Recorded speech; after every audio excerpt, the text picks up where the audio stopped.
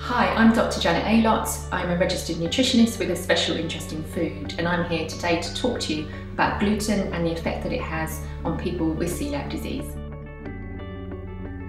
Celiac disease is a very wide ranging condition, and that's part of the problem. So, symptoms can range from very, very mild to very, very severe.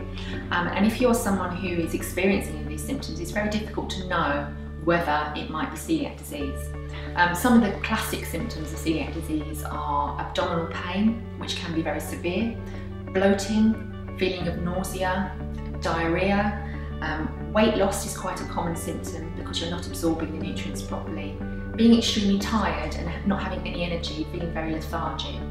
Um, vomiting can actually be a problem, but that's actually not that common in most people.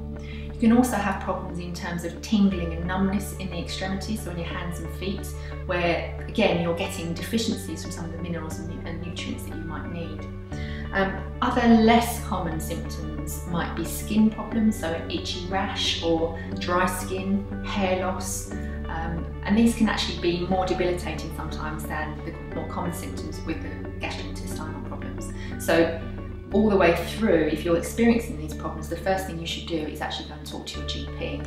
Um, the thing with celiac disease is these symptoms can actually mimic lots of other conditions, so it's important to talk to your GP and get an understanding of whether the symptoms you're experiencing might be celiac disease.